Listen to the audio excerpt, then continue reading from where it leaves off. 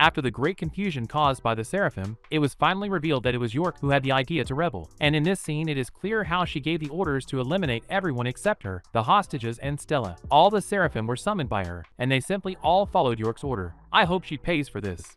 それじゃあ早速聞いてほしいんだけどフロンティアドームは閉じたからアタイとステラそして地下の人質を残して全員殺しちゃってアタイ強さじゃあのメンバーにはかなわないから よーく聞いて。じゃハンティング？